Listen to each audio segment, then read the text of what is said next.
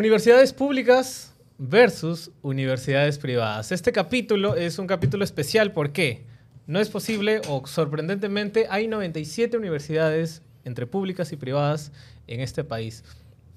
Hace 100 años no, no había ni la quinta parte ni la décima parte.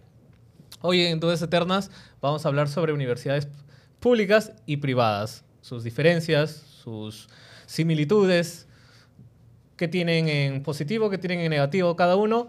Curiosamente, estos tres senadores vienen de universidades diferentes. Chicos, ¿qué tal? ¿De qué universidad vienen? Yo sé que cada uno tiene un letrero genial de su universidad. Bienvenidos, comenzamos este podcast. Qué triste. Villarreal, yo vengo de la Universidad Nacional Federico Villarreal. La única, la única universidad que tiene un logotipo que es la estela La de, estela de Raimondi y, y creo que la letra la han hecho con Arial 12, no sé, una huevada así muy fea. ¿no? Deben mejorar el escudo y votar a todos esos burócratas de miércoles que te demoran el, el- el cartón de miércoles. Fuera de eso es una buena universidad. Señor Gianfranco Oreño. Bueno, yo estoy aquí con el logo antiguo que impres- ha impreso el señor Zabaleta. Este es el logo antiguo de la eh, Universidad Sí, de por- Lima. ahora, es alma ahora es mater. ¿no?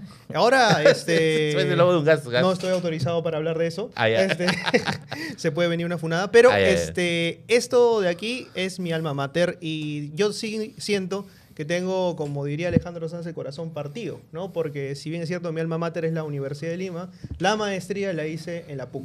Así que Ah, tengo, madre, digamos ya. así, lo mejor de ambos mundos.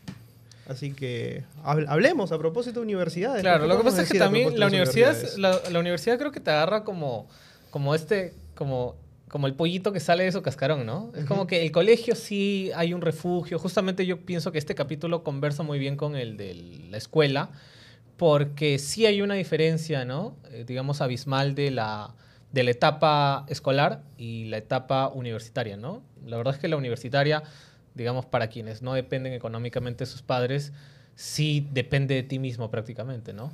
Es un mundo totalmente distinto, ¿no? Es radicalmente distinto. Porque en el colegio, hasta cierto punto, y eso es cierto, ¿ah? hasta cierto punto tú sientes que tú le importas a tus profesores, ¿no? Mal que bien, algo le importas. Ajá. En la universidad no le importas un carajo, o sea, nada, nada. O sea, tú puedes jalar así, se lo dices. No te dijeron nada. Solamente cuando vas a recoger tus notas ya te enteras que te han retirado el curso y una cosa así. Entonces, es, vamos a poner como un primer encuentro, un filtro, ¿no? Una especie de filtro en el tema de, de qué tanto cambia tu vida, ¿no? Cuando ingresas a una universidad. Pero hay algo que también me gustaría poner aquí, en la mesa, que es, creo que la, la primera gran diferencia entre universidades nacionales y particulares, el examen de admisión. Bueno. Se Yo entré dijo, por carajo. tercio superior en su momento. Ya. Estás hablando del 2007 para el 2008. Y debo decir que me costó adaptarme a la universidad.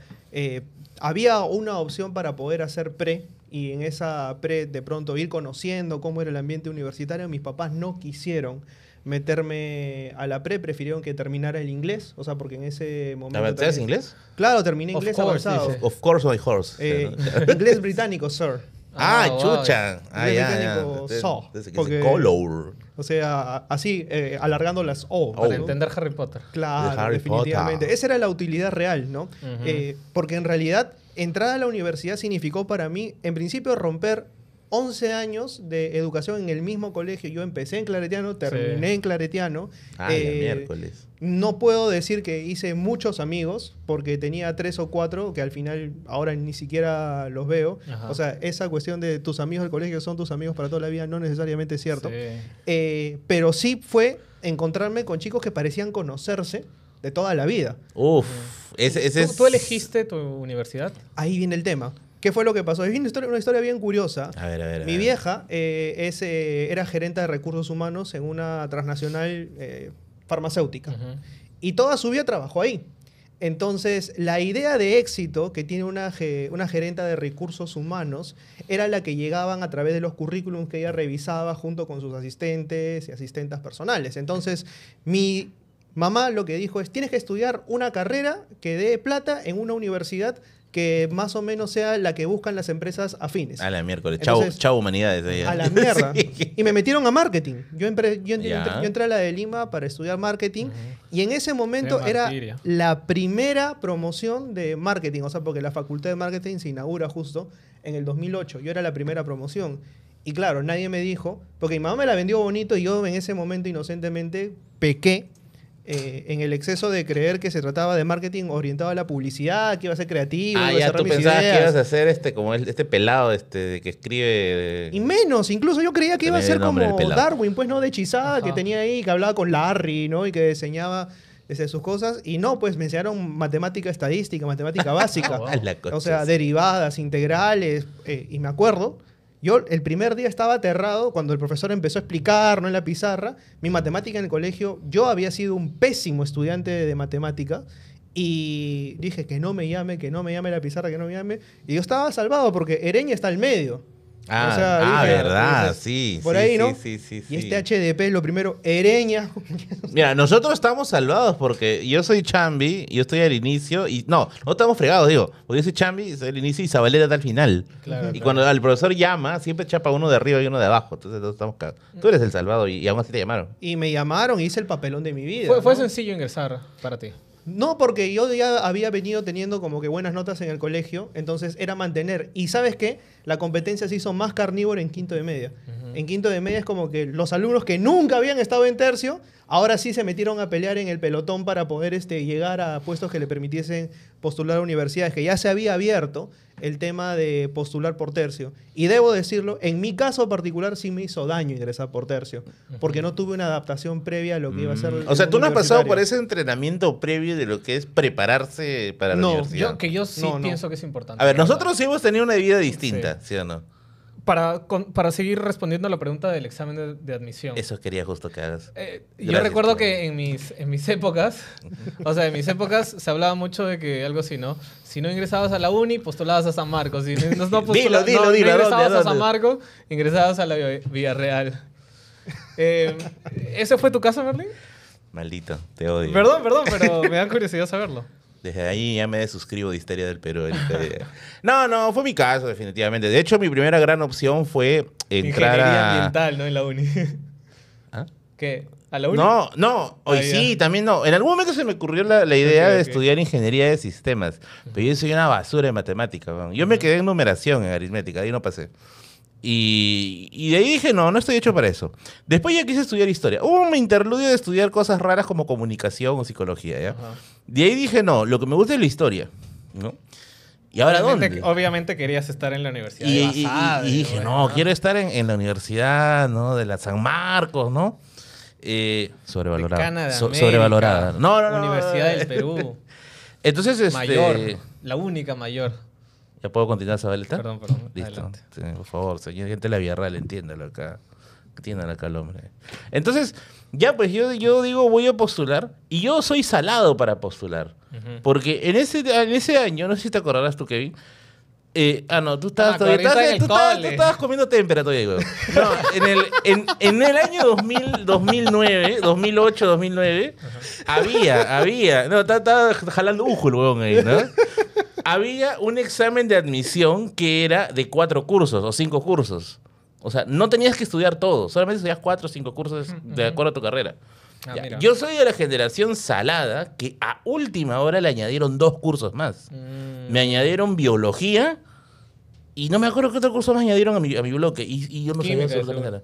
Puta, sí. Pero no sabía absolutamente nada. weón. Y así me fui al examen de admisión de San Marcos.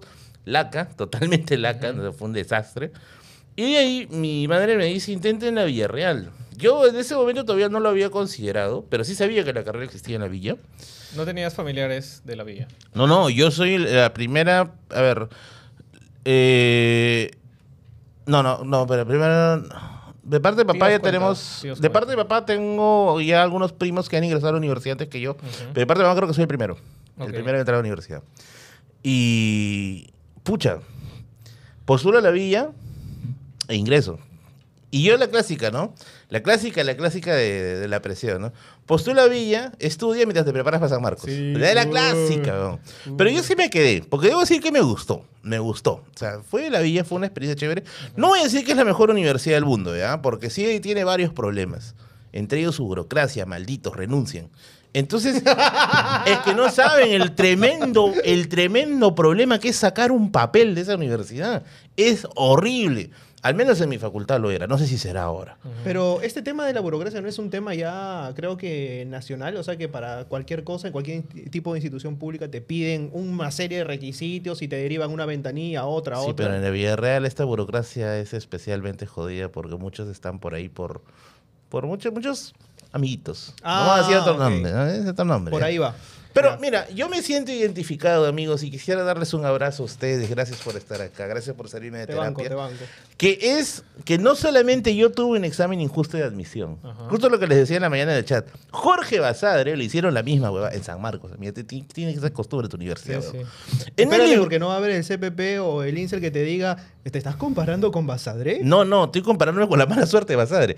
Tengo acá en el libro de La vida y la historia de Jorge Basadre. Ya saben que los libros que utilizamos los puedes encontrar en la plataforma de Busca Libre.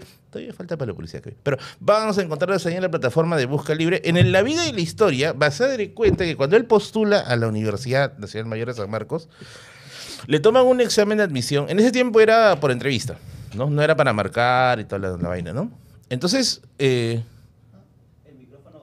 ¿Ah? ¿Aquí? Ay, chicha. Ah, ya, seguimos. Pero ahí lo cortan, ahí lo cortan. Ya, Basadre cuenta de que cuando él, es, cuando él postuló, le preguntaron, la persona que le, le entrevistó, le preguntaron cosas referentes a la revolución de 1848, y eso no estaba en la currícula, o sea, no estaba, perdón, en el, en el temario, ¿no? Y Basadre dijo que no sabía, no sabía ni miércoles, ¿no? Y al final, eh, Basadre esperaba una nota desaprobatoria, pero ingresó, al final ingresó. Y curiosamente, acá, este, este librito de acá sí lo recomiendo bastante porque desnuda mucho al Basadre humano. ¿Por qué? Porque Basadre te cuenta también exactamente lo que Kevin dijo al inicio. Tú entras a la universidad y es otro mundo. Es otro universo totalmente distinto en el que la crueldad comienza. Tú comienzas a sentir la crueldad del mundo ahí en la universidad. En el sentido en que ya estás solo. O sea, totalmente solo. En el colegio al menos tenías tu tutor, tu, tu, tu profesor que te orientaba. En la universidad estás totalmente solo. Entonces entras a un, a un nuevo nivel. Sabreta, Em, hay una. Hay una estadística que tiene el Ministerio de Educación y va a lo siguiente, justamente con la pregunta que hizo Merlín. ¿Qué tan fácil o difícil es ingresar a una universidad pública o privada? De hecho, como la gente puede deducir, es más fácil ingresar a una universidad privada. El dato es el siguiente. De cada 10 postulantes a una universidad pública, solo ingresan dos. En cambio, de cada 10 que postulan a una privada, entran 7. Eso para tener en cuenta. Y eso es un dato de junio del 2023, por cierto. Para mí sí fue eh, complicado ingresar a San Marcos. ¿tú ingresaste a la primera, Kevin? No, no, no. Creo que la ¿Cuántas? tercera incluso. Ah, tres. sí. Sí, sí, sí. O sea, lo que pasa es que, claro, es como que el primer examen es como. El primer- el primer examen Porque es- te empujan a la piscina. Ah, no, para, no. O sea, para que te choques. Para ¿no? que conozcas. No, para que te choques con lo, lo complicado que puede Se ser. hace la de ¿no? Para el otro año será. Sí, no, ¿Tu, no, tu- incluso. ¿Tu academia te recibió con, con orquesta afuera también?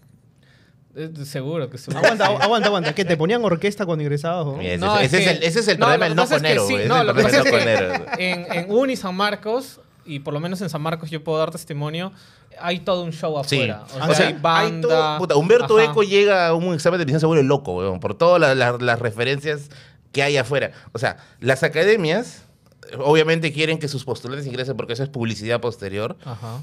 Llevan pues este muñecos, ¿no? Banda, orquesta y graban pues este cómo entran sus postulantes. Acá entran nuestros campeones. ¿no? Oye, todos cero entran presión, ¿no? es una presión de mierda. No hagan eso, academias de mierda. No O sea, hagan eso, weón. es Porque que la voy. gente entra, entra chévere y sale deprimida. Como que dice, me han hecho todo eso por las puras, ¿no? Es bien jodido. Es bien jodido. Pero debería haber, no sé si habrá un estudio acerca de eso, debería existir, ¿ah? Acerca de todo ese universo que hay en. Todo ese festival que se convierte en el examen de admisión. Es festival que- entre comillas, porque es que es una aquí hay desgracia, una cuestión ya sociológica y tiene que ver con este libro que es de Bruno Bettelheim que se llama Aprender a leer. Eh, en combinación con Karen Celan, que está en donde, Merlín. Pues nada más ni nada menos que en Busca Libre. Gracias por darme el pase. Busca Libre tiene el catálogo de libros más grande de toda América y también hace envíos a todo, todo el Perú. Así que no te quedes sin tus libros. Los libros que tenemos aquí en Dudas. Vale, pesa. Los libros que tenemos aquí en Dudas Eternas los puedes encontrar en Busca Libre. Ya sabes, envíos a nivel nacional. Y también verifica siempre. Verifica siempre sus promociones en su página. Porque tienen descuentos y una serie de cosas random. Así que revisa Busca Libre y gracias a Busca Libre por ser patrocinio del canal y por permitir que Kevin Zabaleta cada día entrene mejor su arte de manipular ese No, tipo lo que de- pasa es que estaba haciendo de- una de referencia banners. al Joker. ¿Te acuerdas cuando el Joker de. ¿Baila en las escaleras? No, no, Joaquín No, Phoenix no, cuando en su la primera agar- chamba. los chivolos lo agarran a patadas. Claro, claro. Ah, lo que ok, pasa es que en, en Estados Unidos sí es muy común hacer como publicidad así, ¿no? Como que es un payasito él y está haciendo sus piruetas y está dando vuelta a su letrero, etcétera. Y hablando de estos primeros pasos, justamente, en aprender a leer, Bruno Bettelheim señala lo siguiente. Hay dos momentos en los cuales un ser humano tiene la presión social puesta en él de una manera eh, casi exhaustiva y diría eh, aplastante. ¿En qué sentido? Por ejemplo, dice, cuando los padres ven que su hijo que su hija empieza a leer, celebran el hecho como si se tratara el ingreso por fin al mundo pensante. Ajá. ¿Ok? Sí. Eh, ese, ese logro no se vuelve a festejar después cuando ya se convierten en lectores de otro cuando tipo de cuando quieres lecturas. estudiar letras. Porque claro, es el primer paso para poder entender el mundo. El mundo está lleno de lecturas, de referencias por todas partes. Y el otro es cuando se pasa del colegio a la universidad, porque se asume que en ese tránsito el ser humano pasa de ser justamente un joven a prácticamente ya ser un adulto. Y ahí está justamente el error. Eh, la presión o el ritual en torno a la iniciación en el mundo académico va acompañada por una serie de emociones que al menos aquí en el Perú no, es, no, no creo que estemos preparados para poder manejar del todo. No digo que algunas personas no la sepan manejar eficientemente, pero sí hay toda una serie de presiones alrededor de... ¿Con cuántos años se ingresa a la universidad en el Perú? ¿16? 16, 17? 17, más o Ya, menos. pues, o sea, en otros países entendemos que este proceso se alarga un poco más porque es un proceso en el cual Nani Piz, en un libro que se llama Ser adolescente en el Perú, señala que se trata de un adolescente tardío. Todavía no ha encontrado su lugar en el mundo y es por eso que hay otras universidades en las cuales se hacen hasta dos años de estudios generales. En estos dos años de estudios generales el estudiante se ubica en la universidad, tiene la chance de interactuar con sus pares y tiene la chance además, no menos importante, de encontrar qué carrera quisiera realmente hacer. Exacto. Eso es, por ejemplo, algo que mucha gente no, no te dice, ¿no? Porque, claro, hay una suerte de urgencia por porque el niño ingrese, ¿no? Porque el joven ingrese. Es como que mientras más temprano sea, mejor. A eso añadido en que hay toda una, una especie de celebración colectiva cuando dicen, ¿no? Joven de 12 años, adolescente de 12 años, ingresó a la uni, ¿no? Este chico de 10 años ocupó primer lugar en el examen de San Marcos. Y la gente lo celebra. Y- Claro, la, gran, pero- la gran nota sería ver cinco años después que es de esa Claro, o sea, es, es como que, wow, mire, lo logró, pero, o sea, ¿para qué? ¿no? O sea, la, la pregunta es ¿para qué? ¿no? ¿Va a salir con cuánto? Con 16 de la universidad. ¿Qué, es lo que se espera? Mucha gente dice, no, es que para que empiece a trabajar más temprano, para el campo laboral. Pero el campo laboral es otra cosa, es algo radicalmente, radicalmente distinto. Y justamente a raíz de ese hecho, del hecho del tema de que no se sabe exactamente qué carrera eliges cuando has entrado a una, a una, a una carrera, a una universidad, sea pública o privada, está el hecho de las deserciones. ¿no? Hay mucha gente que deserta de la carrera, porque justamente te has quizá presionado, apresurado por entrar. Y a esto hay que sumarle otras cuestiones, ¿no? Eh, pensemos, por ejemplo, tú tienes 16, 17 años y mucha gente, creo que erróneamente dice, pero en otros países a esa edad ya están preparados. En otros países, en otras realidades, la realidad del Perú es mucho más compleja. La realidad de la escuela aquí en el Perú es que realmente no nos prepara para afrontar una vida universitaria y mucho menos de investigación, que debería de ser técnicamente la búsqueda de la universidad, generar conocimiento, generar, eh, ¿cómo diría esto? Independencia para poder este, realizar ciertas actividades Y, y sobre todo eso, producir conocimiento para que tú, al insertarte en el campo profesional, puedas no solo ser productivo, esa palabra también está Uy, demasiado... esa palabra es muy... este, va, que, la, que la- vamos a, a desmenuzar en el siguiente podcast. Claro, ¿qué significa sí, sí, ser realmente productivo? Cuando tú quieres entrar a la universidad, estás buscando a toda costa, en principio, tratar de sobrevivir. O sea, los primeros ciclos son básicamente de supervivencia, es de adaptarte. ¿Se han puesto a pensar de la cantidad de emociones que afronta un adolescente cuando recién ingresa a la universidad? No me he puesto a pensar porque mi cabeza solamente está pensando en las ofertas de Buscalibre. Así que es una de las cosas que siempre me mantiene ahí. Pero fíjate, ¿ah? Sí, sí. Has salido del colegio, has dejado tu lugar seguro, estás afrontando la presión que tienen tus padres y tus familiares sobre la expectativa que tienes en esa carrera. Tienes que cumplir con todos los cursos y no contento con eso, tienes que sacar buenas notas. Es demasiado. Oye, pero nos estamos saliendo del tema y Kevin está redactando su segunda tesis. ¿Qué es lo Mira, que estás eh, yo quería, yo quería consultarte algo porque tú eres de los tres aquí el que ha estudiado en universidad particular. Sí. Y uno de los dichos muy comunes de la universidad particular es que allí tienes como que los cursos regalados. El profesor no tiene muchas, muchos ánimos de jalarte. No necesariamente. ¿ah? No, pues eso. Claro, no te- teoría es rentable. Lo vas a, pero a- tienes que desmentirlo. ¿no? O sea, Sí, o sea, Te digo porque, por ejemplo, haciendo un paréntesis chiquito hermano, ¿no? Este, mi hermano estudia en la uni. Él Ajá. estudia ingeniería, ingeniería civil en la uni. Y, ah, la mierda, los profesores ahí están la cagada, weón. Es como que gana el, el más, ma- el más matón, ¿no? El que, el que va a jalar más alumnos, ¿no? Y parece que se volvió una especie de cultura de ingreso a la uni. Tratar de, de, de- de- de ba- de bajarte, ¿no? Pero claro, ¿no? Pero dime tú, o sea, qué enfoque tan arcaico de creer que la letra con sangre entre y que el miedo es una forma eficaz para aprender. ¿Y sabes qué? Yo veo que esto se ha trasladado incluso a algunos estudiantes de colegio que creen que un modelo de profesor a seguir es el profesor que más miedo te da, que más respeto te impone porque jala más y no necesariamente es así. Eh, yo no podría generalizar y decir que en las universidades particulares se da la nota regalada. Habrá algunos profesores que sí lo hacen, habrá algunas instituciones que así lo hacen. En mi caso particular te diría que no, que no O necesariamente. sea, tú sí has el- sentido una presión de la universidad. Hay una presión por dos partes. Por parte del cuerpo académico que tiene la función de trasladar los conocimientos lo mejor posible y de quienes están arriba por ver, oye, si se pasó muy fácil, ¿qué pasó? Ah, te, te- te- o sea, verifican no solo lo que pase, sino cómo has pasado. Claro, porque hacen una investigación respecto a cómo es que ese profesor está enseñando. O sea, Mm. si de 100 aprueban 100 y, y esos 100 aprueban todos con 20, algo raro hay ahí. O, o tienen una cuna de genios, ¿no? O tienes una cuna de sí, genio sí, hágalo, sí, y se pasa a una investigación posterior, no es, no, es broma. Mm. O sea, hay toda una supervisión detrás. Esto lo puedo decir en las casas de estudio en las cuales me ha tocado enseñar. No puedo hablar por todas las, de- las demás porque no puedo generalizar, ¿no? No, pero ahorita lo básicamente es tu experiencia como estudiante. Ajá.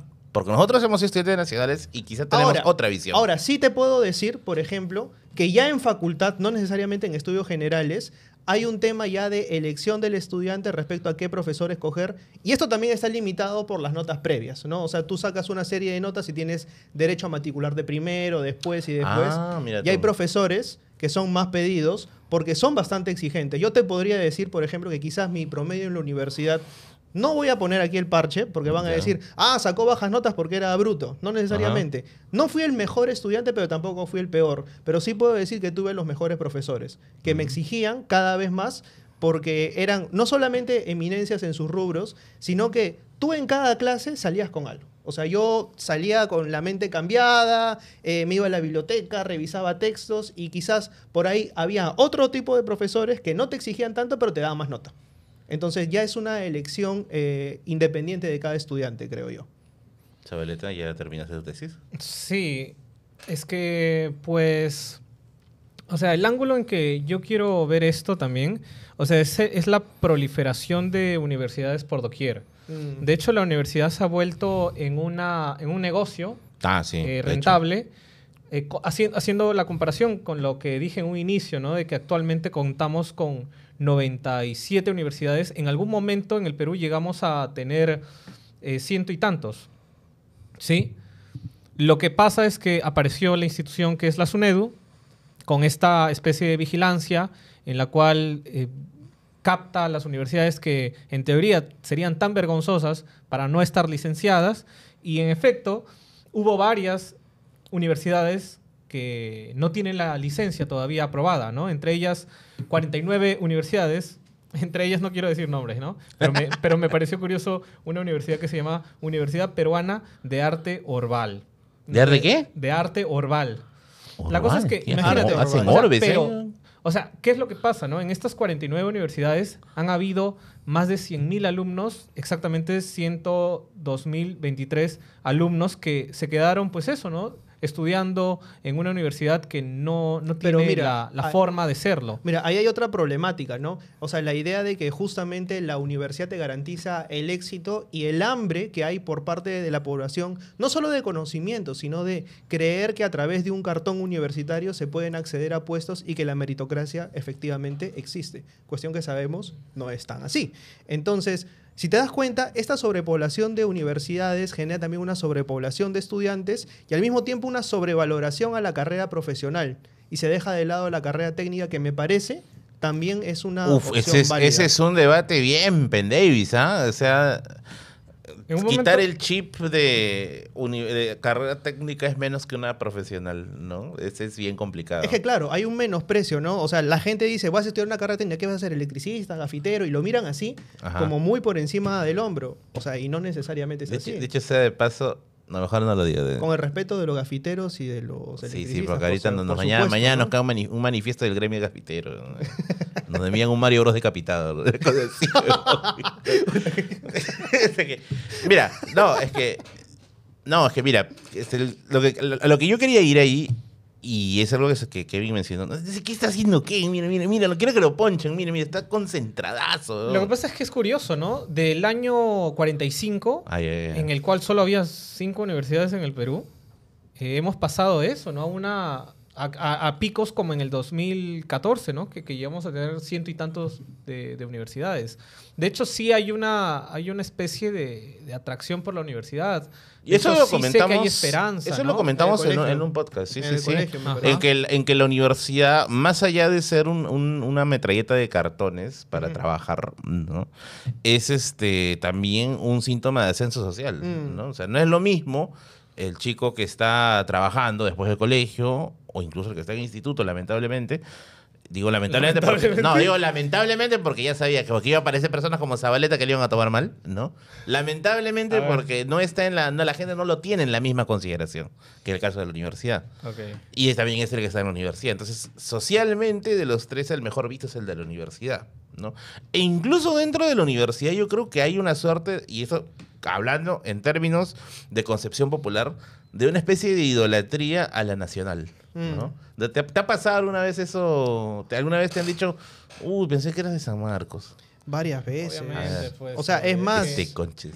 Es más, eh, Ahorita, ahorita vamos a hablar del síndrome de Kevin, Está loco por volver a su facultad. suele ocurrir que mucha gente cree que yo estudié literatura, además. Oh, yo pensé lo mismo, ¿ah? Suele ocurrir que mucha gente Todos, cree todos. que yo estudié literatura y yo no estudié literatura, yo estudié comunicación en esta universidad, una vez más lo dejo por aquí. Eh, ¿Cómo yo llego a la literatura? Ese es otro cantar. Y cómo es que algunos comunicadores terminan decantándose por la literatura es otra cosa. Pero sí he notado, por ejemplo, este menosprecio por parte de gente de nacionales hacia mí, diciendo, ah, pero ¿qué va a hablar si ese es de la de Lima? Como ¿no? Zabaleta, como Zabaleta. Eh, que creo que es un prejuicio constante también, ¿no? ¿Te parece, Kevin? O sea, bueno, digamos, ha- hace un rato di el, di el dato, ¿no? De, cuánta, de cuántas personas entran cuando postulan a una, a una universidad O privada. sea, me está No, chicaneando creo- otra vez. ¿no? Sí, Siento- de- No, no, no estoy... No estoy... Oye, te, te- puesto jabón, ¿no? el toque para que te veas.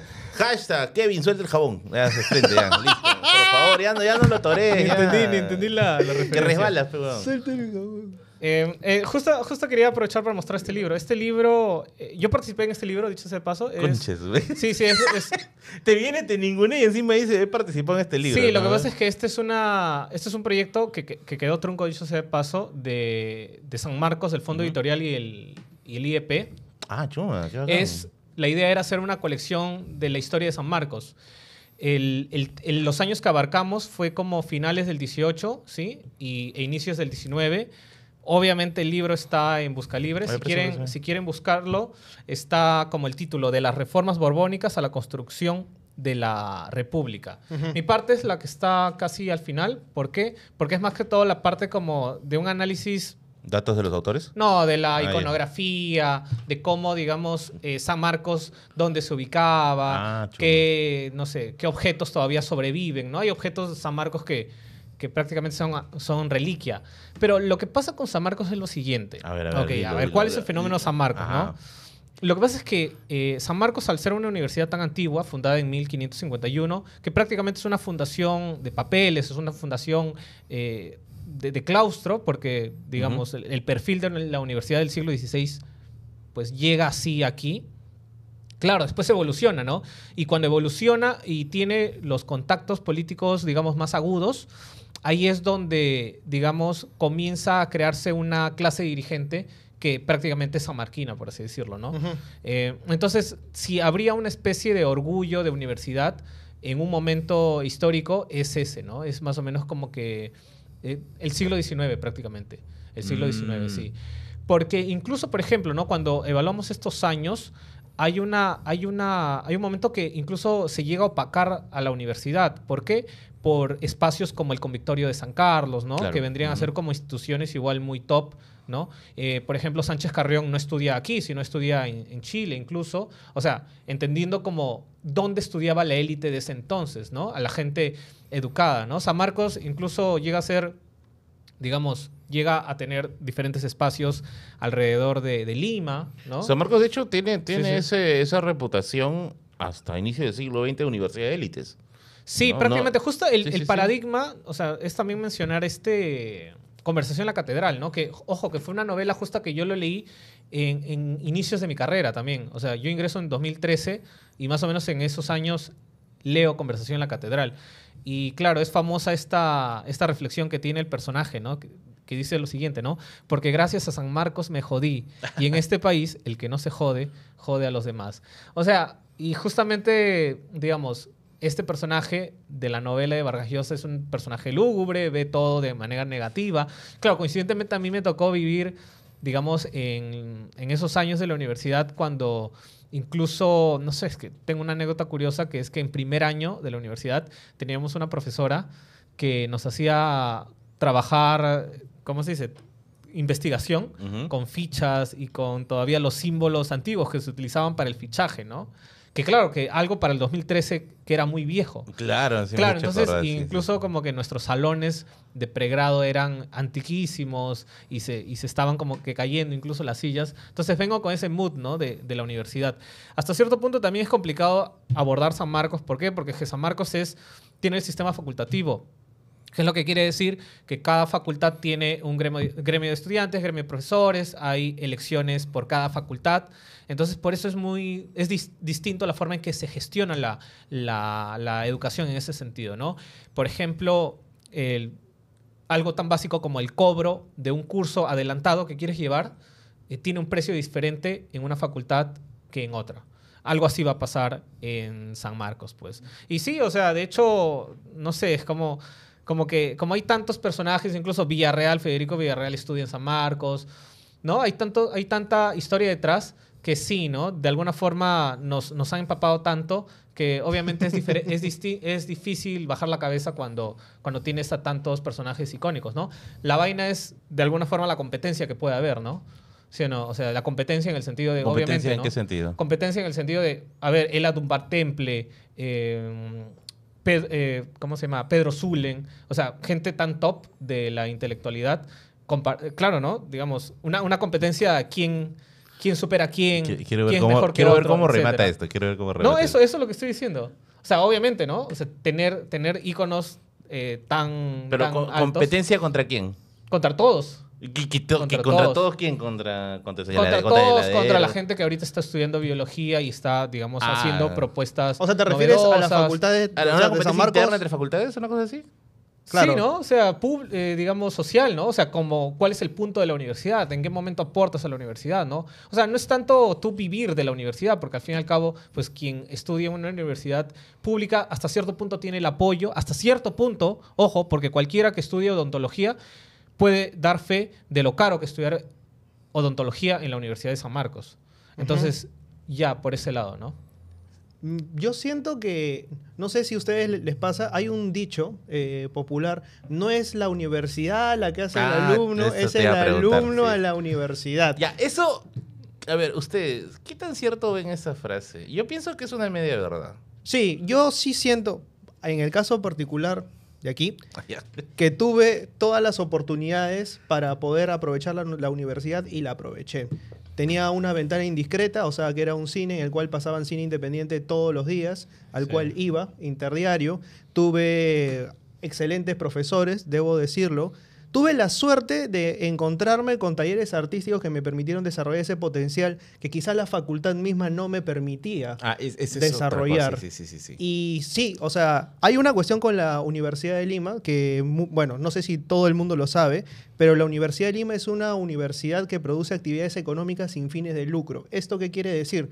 Que el dinero que se produce en la universidad o, pro- o tiene algún tipo de ganancias no se reparte entre los socios, sino que se utiliza con fines eh, sociales o con medio de inversión en la propia universidad.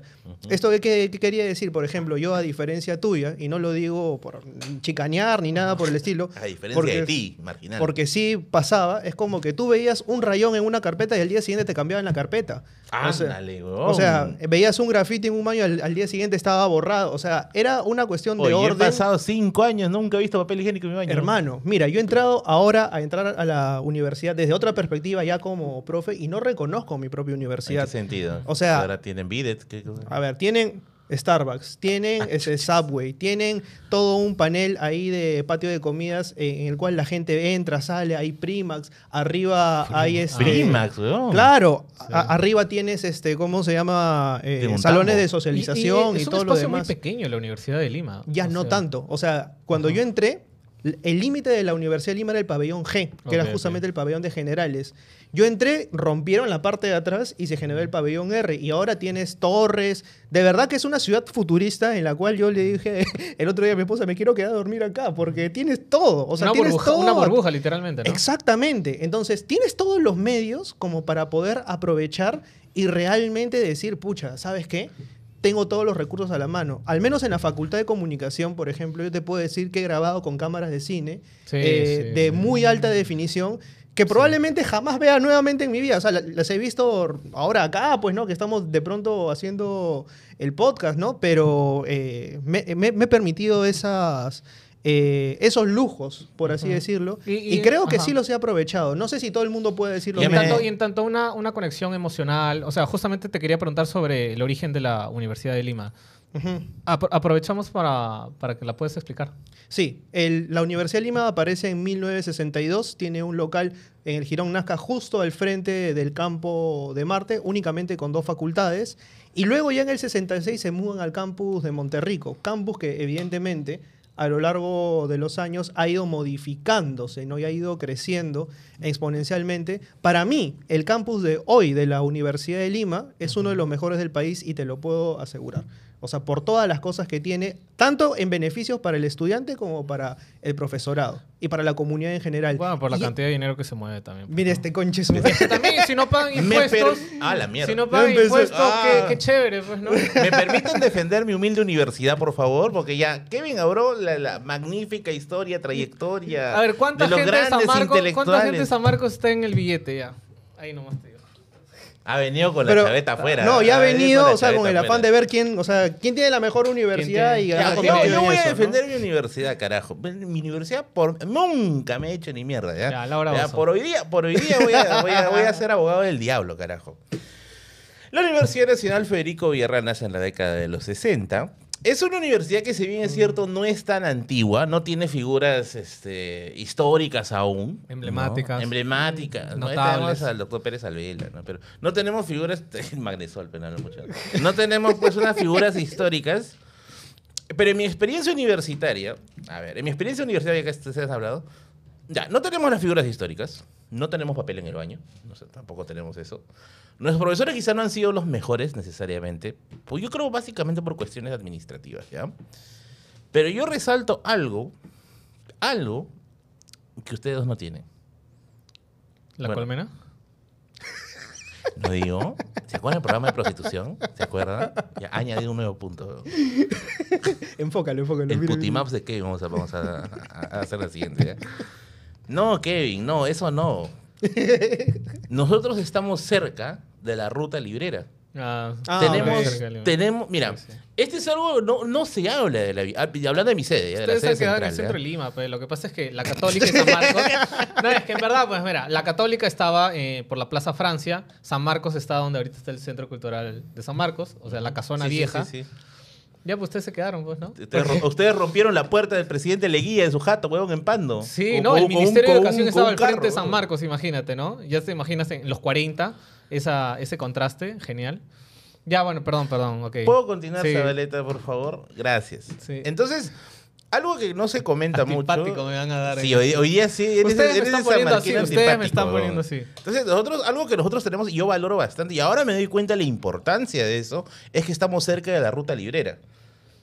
O sea, nosotros salimos de la universidad, al costado tenemos pasaje a Malambito, donde hay un huevo de libreros. El COVID se lleva la mitad de ellos, pero aún están todavía. ahí, Oh, no, verdad, no es no, broma. sí, sí, el COVID sí. se lleva la mitad de ellos. Y más allá están las gloriosas puertas del, de, de- puta, de- del, del paraíso. pues. Está Girón Quilca y Girón Camaná. Entonces, yo me acuerdo que en mi carrera, en mi facultad, porque yo estudié en la, en la facultad, en la sede central, en la Facultad de Humanidades, eh, era una especie de ritual de iniciación llevar al cachimbo por primera vez, no a la donde estás pensando, sino llevarlo por primera vez a Quilca y Camaná. Ah, No sé si seguirá siendo una especie de tradición el día de hoy, pero si es que hay villarrealinos que están viendo el programa, no dejen perder esa tradición. Yo me acuerdo que era la clásica, ¿no?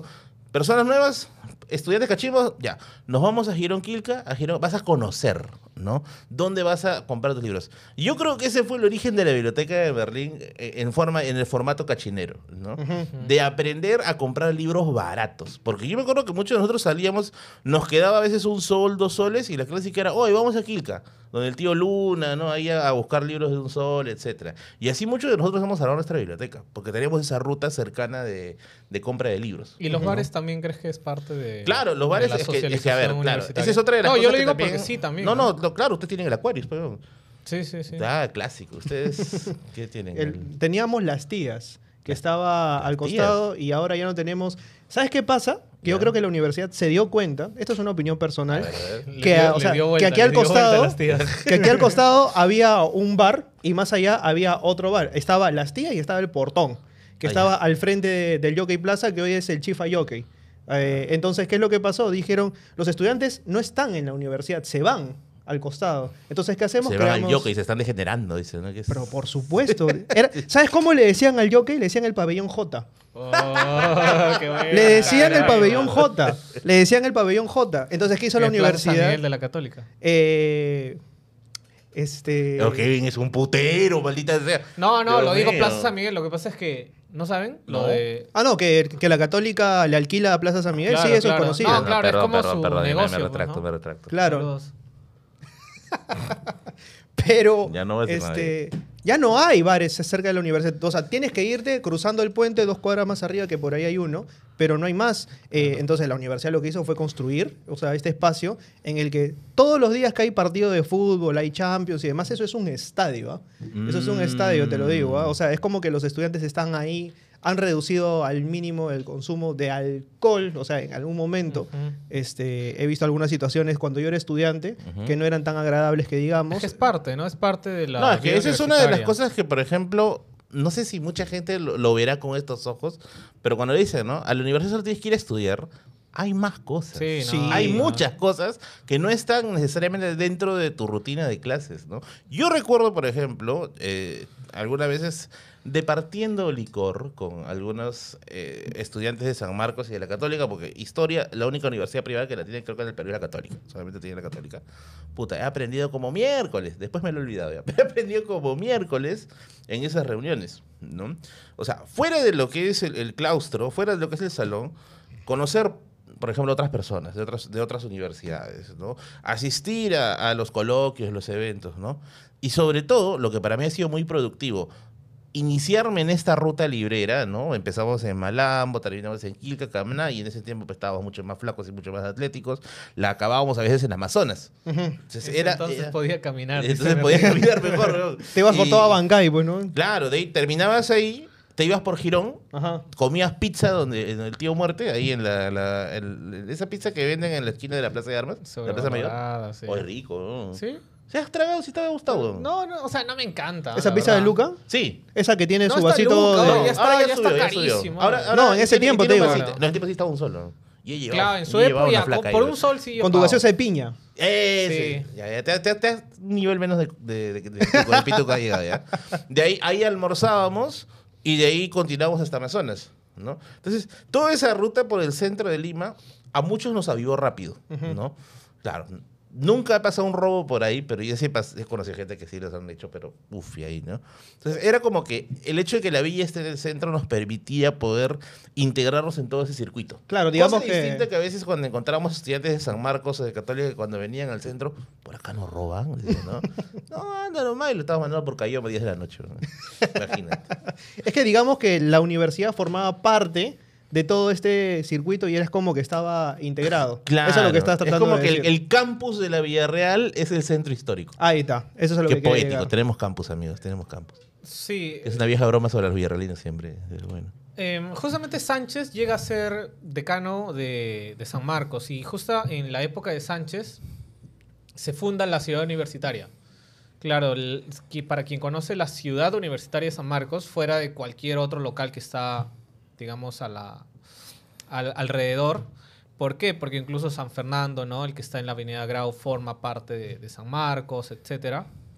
Claro, ese fue como un proyecto de los años de los años 60 prácticamente, ¿no? Entonces el- es el proyecto de, no sé si habrá sido en verdad descentralizar la universidad o incluso llevarte a los universitarios lejos del centro, porque creo que por ahí también hay una explicación de las universidades fuera de las ciudades, ¿sí?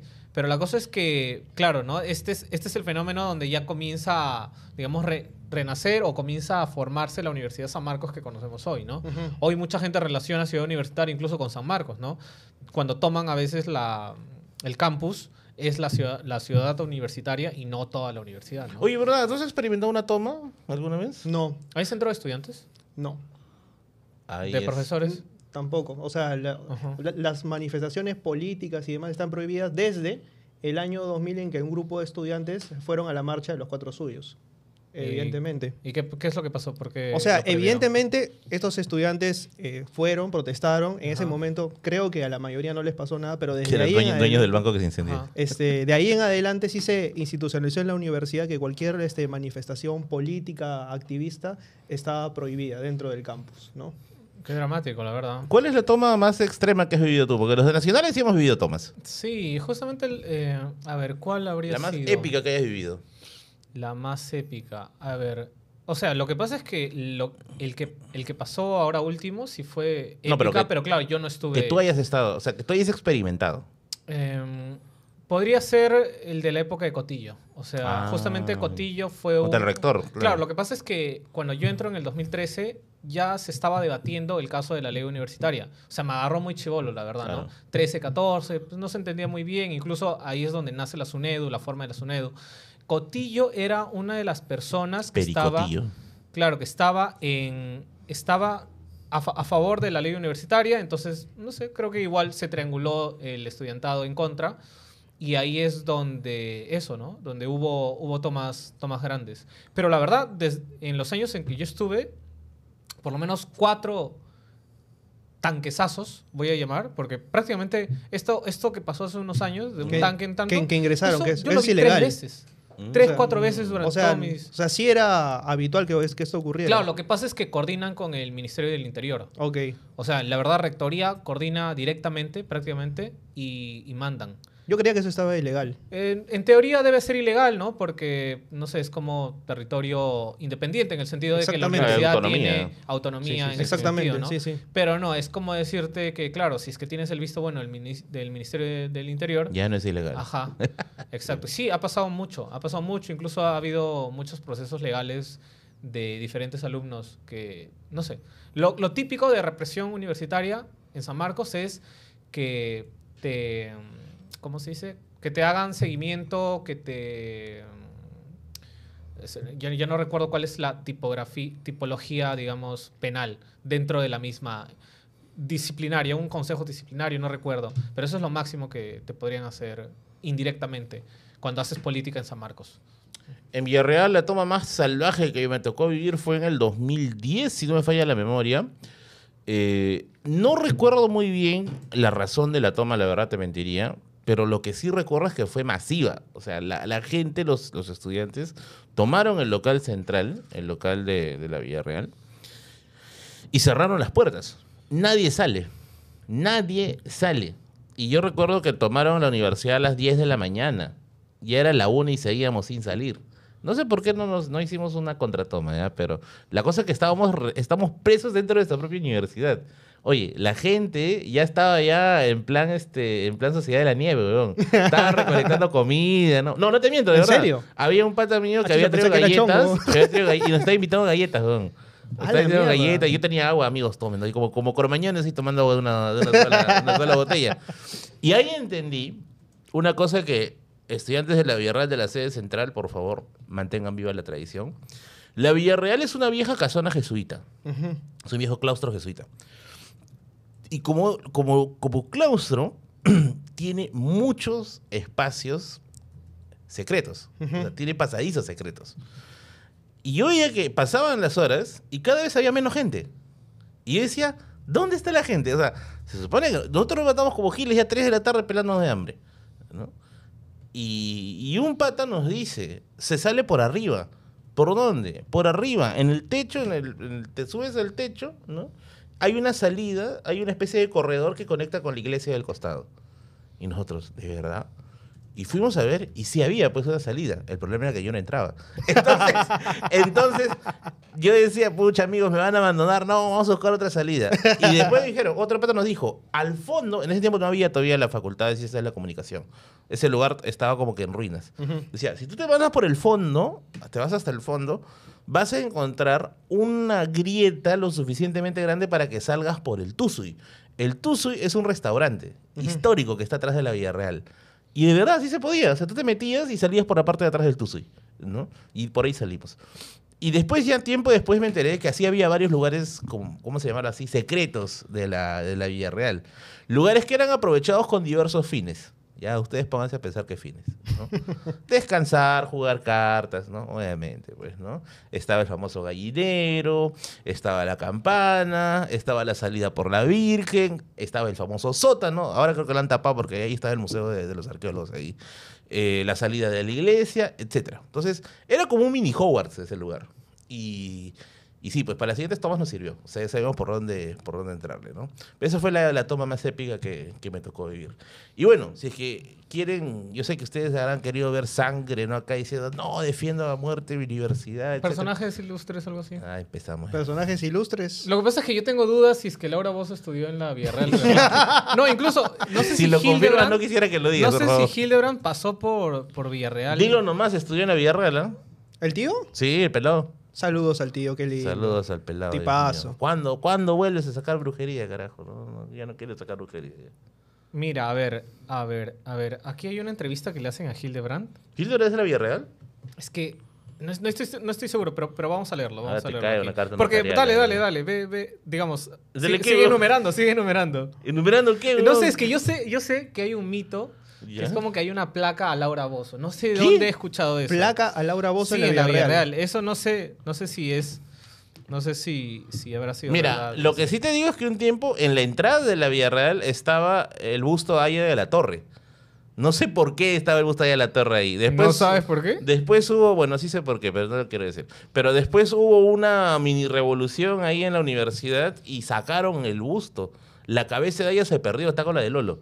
Y de ahí, ahí pusieron, ahí pusieron el busto de Villarreal. Y ahora tú entras a la universidad y tú ves el busto de Villarreal. ¿Cómo vas ¿no? a comparar la cabeza de Aya con la de Lolo? No, ahí está, la cabeza de Aya, de Lolo y de la pantera de Callao. weón. Ahí está, las tres cabezas están ahí juntas. weón. Entonces, ahora sí hay sí eso. Ya, eso sí te puedo creer, pero una placa Laura Bozo, Sí. ¿no es una placa de padrino de promoción? De seguro, eso es lo que estaba- Probablemente, eso es lo que creo que estaba algo así sí me acuerdo. Algo así sí me acuerdo. Bueno, Sabareta, mientras estás con tu obsesión con Laura Bozo, puedes, puedes este. Leer. Dar A ver, aquí hay, una, aquí hay una entrevista que le hacen a Hildebrand. Dice, ¿por qué quiso ser profesor de lengua y literatura en la Universidad Federico Villarreal? Y responde, sí, escogí mal. Fue una horrorosa opción, lo reconozco. Además, ni siquiera llegué a graduarme. Pero terminó la carrera, le pregunto, le pregunta. No, no la terminé, la dejé al cuarto año. Fui un mal alumno, porque mis clases las hacía en el café. Perdón, perdón. Yo hablaba mucho con mi profesor de sintaxis, que era un español, un ex cura que se había casado con una boliviana, Fermín Valverde. Inolvidable profesor, que ojalá que esté vivo y que ojalá se haya ido bien. Y junto con otros tres o cuatro profesores de primera, que sí lo sabía, y que organizaban tertulias fuera del salón, cuando iba al salón, en cambio, lo que veía era una masa brutal de 70 personas asistiendo a una perorata, paporretera. De verdad, yo salía corriendo. A mí lo tumultuario me espanta. Entonces también descubrí que no hubiese tenido jamás la vocación y la paciencia que exigen la pedagogía y la educación. Ya, ese sí. Ah, mira, entonces, entonces tenemos aquí un villarrealino.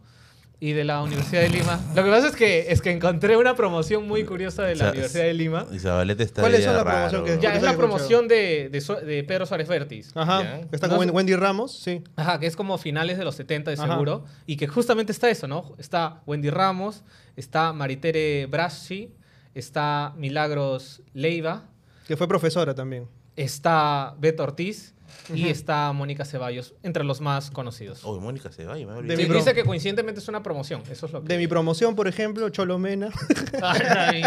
este, está este, Misia Pero Viajeras, este, Daniela. Ajá, Daniela dale. estuvo en, en mi promoción. Rodrigo Chávez, que hizo Aprendo en Casa. Ujú. Eso es lo que te puedo decir, al, al menos de mi, de mi promoción, ¿no? Puta, y de de ahí nada promo no hay más. O sea, Nadie. o sea, yo pensé que me decía Arguedas. Ah, no, Arguedas es... es- Está Marcos, Panterita. Pero, o sea, pero Panterita. Independientemente- Él, él sí estuvo en la prendo en casa. ¿eh, ¿Panterita? La prendo en casa. pe, que Ah, la pantera ahí, de la prendo en No, ya. otro, otro pata que le decíamos la panterita. pe. Ah, ya, bueno. Sí, O nuestro sea, personajes ilustres, dices. O sea, que hayan... La verdad que no conozco ninguno. Y no, no pretendo conocerlos tampoco. bueno, bueno.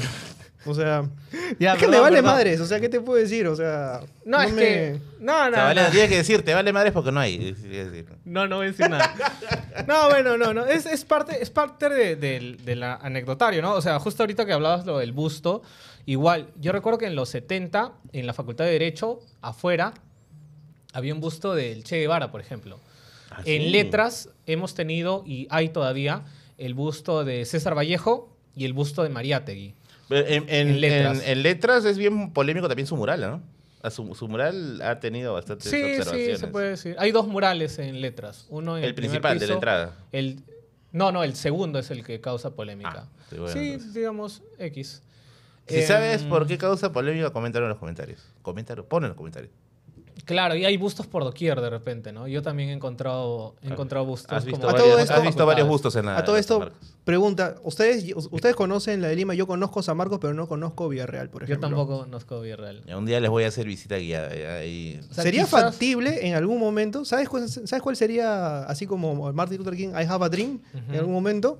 Eh, hacer un conversatorio en San Marcos, otro en Villarreal y otro en La Lima. ¿Ustedes creen en- que sea En posible? Villarreal no creo que nos, no creo que nos acepten. En San Marcos probablemente sí. Sí, en teoría cualquier estudiante puede gestionar algún evento. Mm. Y la también verdad es que no hay podría- mucho... Yo he estado en Me- dos me gustaría de que- Villarreal, solamente en dos. Y siempre han sido iniciativas estudiantes. Me gustaría tenerlos en Pero sí sería bueno. Oye, dicho de paso, había una persona que me acuerdo que en la Feria del Libro, Ricardo Palma, quería invitarnos para un conversatorio en la Facultad de Letras, Ujú. de Ciencias y Humanidades. Pero bueno, un libro que se me pasó a recomendarles ¿Cuál? ¿Cuál? es Comunidades Imaginadas para entender acerca de por qué Sabaret está tan, tan hoy día pecho de su universidad, por qué siente esa necesidad de, de- de identificarse. En Comunidades Imaginadas vas a entender por qué la gente tiene esa intención, ese vínculo con formar lazos con sus semejantes con base Es a algo- coincidencias y diferencias con el resto. Gracias. Disponible en Buscalibre. Disponible en Buscalibre. Es una edición muy curiosa y de seguro lo, lo pueden encontrar. Edición popular. de- El libro es sobre el nacionalismo, porque yo creo que se puede extrapolar No, pero lo que, pasa, lo que pasa es que, como, como yo les dije, a diferencia de estos colegios como Villa María o estos colegios como de repente Claretiano incluso, que No, son no seas co- malo, hasta que o sea, pero Villa María, crees que hay un- no no, pero no, no, ¿no crees que esos colegios antiguos o estos colegios con varios años tienen una especie de himno, tienen una especie de, mm, no sé, como que A ver, generaciones ¿San Marcos bla, tiene himno? Sí. ¿Sabes el himno? No, me sé unos, unas líneas nomás. ¿Puedes cantar? No. No, es muy. Lo estuviste es cantando antes de, pero sí sé que- estuve- me consta que lo sabes. en la previa. Me consta no que lo sabes. Disponible en la previa de- del día de hoy. No, claro, entonces lo que va a pasar es que, claro, yo he tenido pocos acercamientos en, en ese tipo de grupos, ¿no? Ujú. Como que a partir de una institución se forma una especie de lazo. Y claro, en el colegio no lo formé porque X, ¿no? Es un colegio público X, el que yo estudié. Y claro, San Marcos ya es más eso, ¿no? Es una institución que tiene historia. Entonces tú llegas a entrar en una especie de, de historia que está, digamos, eh, rondando, que está circulando y eso es como O una, sea, tu historia en San un Marcos río, un río en el que... bueno, muchas gracias por ver el episodio de hoy. Comenta a la parte de abajo eh, de, ¿De, qué universidad eres? ¿De qué universidad eres? Qui- Quisiéramos saber. Obviamente, quiero repetir este, este estudio que encontré de junio del 2023 del Ministerio de Educación. Hay muchos datos chéveres que la verdad no pude comentar el día de hoy. Y eso, muchas gracias.